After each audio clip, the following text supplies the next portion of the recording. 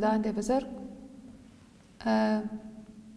به ادامه درس های قبلی ما روز قبل ما شما در مورد HTML ساختار نوشتن کد در HTML را کلا خواندیم و عملا هم کار کردیم. امیدوار هستم که موضوع را گرفته باشین. به ادامه از او امروز موضوع درس امروزی ما روی چی هست؟ HTML formatting tag یا تگ هایی که به خاطر تعیین فرمت متن یا محتوای صفحات اینترنت استفاده میشه. او تگ ها ما شما هر یکش مطالعه می‌کنیم. formatting tag به کدام تگ ها میگه؟ به تگ هایی میگه که برای محتوای وبسایت ما فرمت تعیین می‌کنه. مثلا مثلا ضخیم تر باشه نوعیت خطش تعیین می‌کنه. سایز خط نوعیت خط بر علاوه از موقعیتش در کجا باشه. formatting tag ها اونو قسم تگ ها رو میگه. که عموما اکثر بخش formatting مربوط CSS میشه. ولی بسیار کوتاه باز هم یادآوری ایجا کردیم. ولی به طور فشرده و بسیار به شکل استانداردش در CSS مطالعه می‌کنیم. که formatting tag هایی که اساسی هست در HTML ایجا ازش یادآوری کردیم. اول تگ B هست. تگ B از جمله تگ های است که به خاطر نوشتن متن به شکل ضخیم یا bold استفاده میشه. دوم تگ strong هست. تگ strong از جمله تگ های formatting tag هست که ای هم متن به شکل bold نوشته می‌کنه. تقریبا با تگ B مشابه هست same هست. ولی strong tag عموما ما در جایی استفاده می‌کنیم که اون یک قسمت محتوا بر ما اهمیت زیادتر داشته باشه important باشه. تگ em. تگ em emphasize text یا روی تگ های تاکیدی استفاده میشه مثلا اگر ما یک پاراگراف داشته باشیم یک قسمتش بخوایم که تاکید بکنیم از تگ em استفاده می‌کنیم. عموما تگ em محتوا را به شکل کمی کج یا مایل نشان میده. که مشابه تگ I هست. تگ I چگونه تگ هست؟ از جمله فرمتینگ تگ های است که به خاطر نوشتن متن به شکل مایل یا کج استفاده میشه. تگ دیف ان. دیف ان از جمله تگ های است که به خاطر تعریف یک اصطلاحی که جدیدا به وبسایت ما افزود شده باشه استفاده میشه. تگ دل. گاهی اوقات بعضی محتوا را ما از وبسایت می‌خوایم دلیت شده باشه یا دلیت شود به خاطر از ما از تگ DEL یا دل استفاده می‌کنیم. تگ انس. تگ انس به خاطر درج محتوای جدیدی که در یک قسمت از وبسایت ما یا در یک قسمت از پاراگراف ما افزود شده به خاطر از استفاده میشه. و بالاخره تب تگ SUB یا سب برش میگن. از جمله تگ است که به خاطر نوشتن طاقت یا به شکل طاقت وقتی که ما می‌خوایم اعداد را نوشته بکنیم به شکل زیرنویس وقتی یک متن یا عدد را می‌خوایم به شکل زیرنویس نوشته بکنیم از تگ subscript استفاده می‌کنیم. از تگ subscript که به شکل SUB در HTML تعریف شده عموما مورد استفادهش در بخش footer هاست اگر ما یک قسمت مثل footer می‌خوایم یک متن درج بکنیم یا در اعداد اگر می‌خوایم که طاقت طاقت را نشان بدیم از استفاده می‌کنیم و تگ SUP که معنای superscript را میده ای از جمله تگ های formatting هست که به خاطر نوشتن توان استفاده میشه چی اعداد باشه یا چی حروف باشه. مورد استفادهش عموما به خاطر نوشتن اعداد به شکل توان و بعضی فرمول های کیمیاوی هر دوی تگ ها استفاده استفاده داره. که حاله میریم عملا کار می‌کنیم. خب ایدیتر ما را باز می‌کنیم. خب یک صفحه جدید ایجاد می‌کنیم. بازم به خاطر که بهتر آشنا شوین با ساختار صفحه اولین کاری که می‌کنیم تک های اساسی که شامل ساختار صفحه میشه او رو باید درج بکنیم. که هر تگ را که درج می‌کنیم باید باشه و پس دوباره بسته شد فعلا با تگ head کاری نداریم چون بحث نکردیم در موردش هیچ باز نمی‌کنیم فقط مستقیما تگ body رو باز می‌کنیم.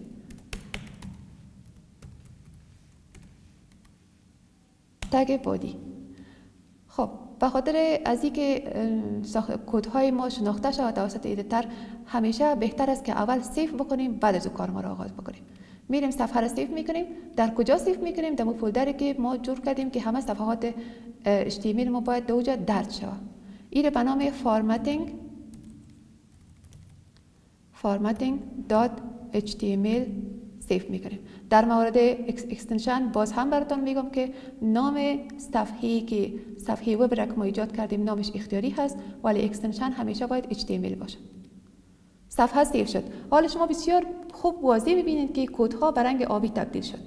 یعنی حال browser خود editor کدهای ما را شناخت. در جریان کدنویسی حتی ما را کمک می‌تونه خب.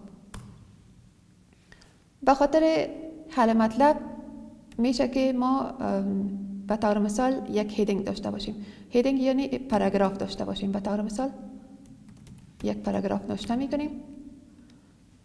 به طور مثال کامپیوتر ان الکترونیک ماشین خب یک پاراگراف نوشته کردیم.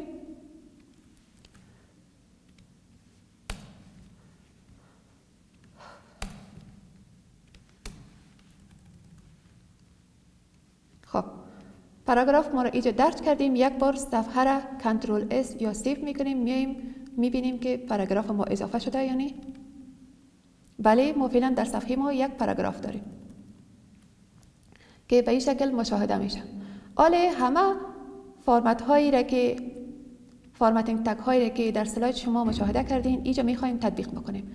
و هر یک ببینیم که چی تغییر در متن ما وارد می‌کنه. خب.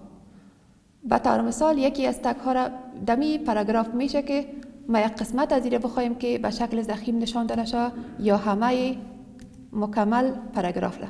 تا هر ساحه که می‌خواین دورموج تگ بسته می‌کنیم به طور مثال تگ بی یا بولد را در اینجا باز کردم. فقط می‌خوایم که کامپیوتر به شکل زخیم یا بولد نشان داده شد پس در قسمت تگ را بسته می‌کنم. یعنی ادامه محتوا به اون حالت عادی خودش قرار داشته باشه. میایم تغییرات را سفر را رفرش می‌کنیم می‌بینیم.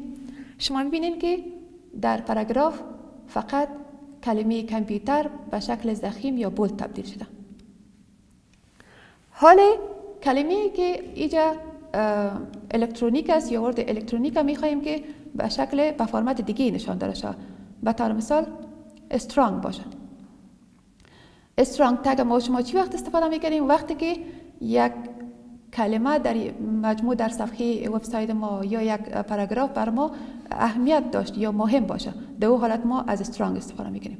ولی از نگاه فرمتی که بر محتوای ما تعیین می‌کنه عینا خاصیت بولد را داره. حالا ما میریم مشاهده می‌کنیم تغییر را.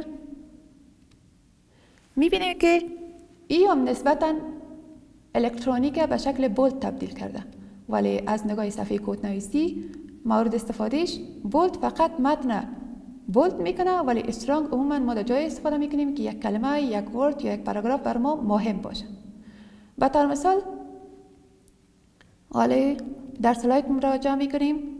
تگ ایم. یک متن تاکیدی که یعنی ما تاکید می‌کنم که مهم هست. بله. متن تاکیدی و طور مثال اینجا بر من ماشین هست. این می‌خوایم که با tag em format بگیره. tag em را اینجا باز می‌کنم و پس دوباره بسته می‌کنم. تغییرات را که با control S save می‌کنیم و صفحه را refresh می‌کنیم. شما متوجه شدین که کلمه ماشین به شکل مایل تبدیل شده به شکل italic تبدیل شده. قسمی که قبلا براتون گفتم که این دو tag tag i و tag em تقریبا عین وظیفه را اجرا می‌کنن. یک خصوصیت داره. چه قسم؟ مثلا به ادامه از دی کامپیوتر را میگم که به شکل چی تبدیل شود؟ italic باشه. italic. فقط کلمه کامپیوتر به شکل italic باشه. تگ آی را باز می‌کنم پس بسته می‌کنم. وقتی که صفحه را سیف می‌کنیم رفرش می‌کنیم شما ببینید که هم ماشین به شکل مایل یا کج نوشته و هم کامپیوتر. تقریبا وظیفهشان مشابه هم هست. خب. به ادامه از او تگ DFN به طور مثال دمی صفحه کد نویسی که دارم یک دفینیشن دیگه ابزود می شده اینجا که بر من مهم هست. یک یک اصطلاحی را در اینجا درج می کنم که بر من مهم هست. مثلا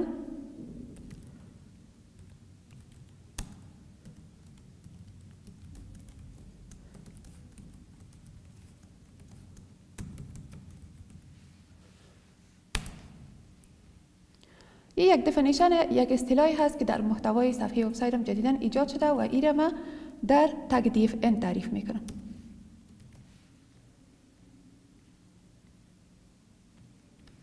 و در قسمتی که امی اصطلاح ما ختم شده دوباره این تگ را بسته می‌کنیم.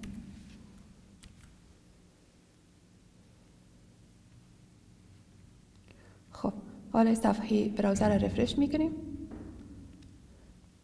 می‌بینیم که امی ساحه چارلز بابج is the father of computer. به فرمت دیگه تبدیل شده. خب بعد از تگ دیف این دیگه کدام تگ را داشتیم؟ تگ دل. تگ دل به خاطر یک متنی که حذف شده می باشه یعنی از ما او را یک نشانی بکنیم از محتوای ما حذف شده می باشه به خاطر از استفاده میشه. به طور مثال CPU. می‌خوایم در امی پاراگراف ما یک قسمتش که CPU هست و ایرم از محتوای حذف کردیم متن حذف شده است ایره یک نشانی داشته باشم. با استفاده از tag del ایره در بین tag del قرار میدم. خب. میاییم صفحه browser را باز می‌کنیم refresh می‌کنیم. CP عموما tag ی که ما او را در بین tag del می‌گیریم روی از یک خط قرار می‌گیره. یعنی متن است که از این متن صرف نظر شده delete شده. این مفهوم بر ما ارائه می‌کنه. بر از tag del tag ins داریم. به طور مثال به جای CPU ما یک محتوای دیگر به طور مثال به جای CPU ما اینجا موز را افزود کردیم. یا پروسسور را افزود کردیم. پروسسور متنی که جدیدا در یک قسمت از وبسایت ما درج میشه یک محتوا باشه یا یک کلمه باشه هر قدر که باشه به خاطر از ما از تگ انس استفاده می‌کنیم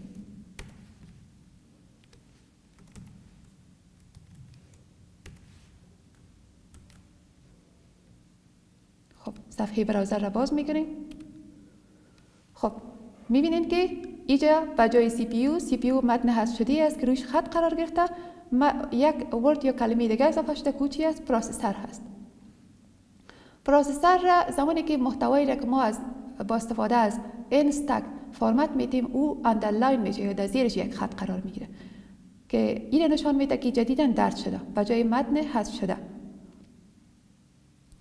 خب بعد از او دو tag دیگه که داریم که از جمله tag های superscript و subscript بود این چی زمانی کار میشه زمانی کار میشه که به طور مثال ما یک فرمول کیمیایی داشته باشم مثلا ما می‌خوایم که H دو خب در داخل tag پاراگراف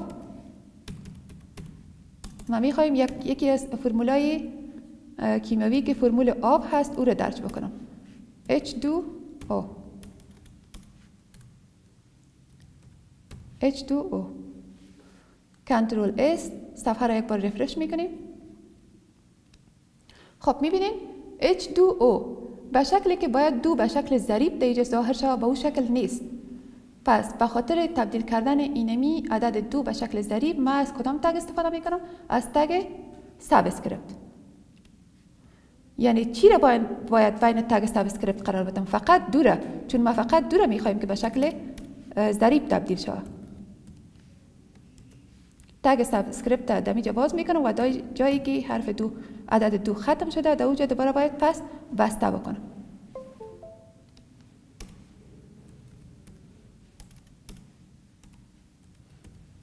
tag sub بسته شد. و control S میایم صفحه را یک refresh می‌کنیم. حالا شما می‌بینید که دو به شکل ضریب نوشته شد. عموما گفتم tag subscript در جمله tag است که به خاطر نوشتن footnote ها اکثرا اعداد یا حروفی که به شکل ضریب نوشته میشه به خاطر از استفاده میشه. حالا اگر ما و شما یک عدد داشته باشیم که یک بخشی از اعداد ما به مربوط ریاضی شود دو حالت از چی استفاده می‌کنیم؟ به طور مثال با استفاده از تگ پاراگراف ما می‌خواهیم که یک عدد را اینجا درج بکنیم که نشته کنیم که 100 به توان 9 اگر ما اینجا هر قدر کوشش بکنم نمی‌تونم نشته کنم 100 به توان 9 به این شکل درج میشه.